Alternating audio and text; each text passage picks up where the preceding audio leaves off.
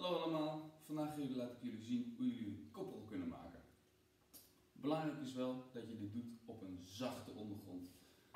De stenen zijn nog hard, dus ik heb er al een klein matje bij gepakt. Voor de koprol ga je in een hurk zitten, of zit net zoals een kikker. Zorg ervoor dat je je armen goed voor je uitsteekt, dat je erop kan steunen.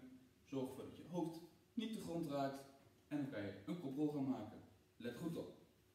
Armen recht, hoofd niet de grond en je gaan staan. Ik hoop dat dit voor nu duidelijk was en ik wens jullie veel succes.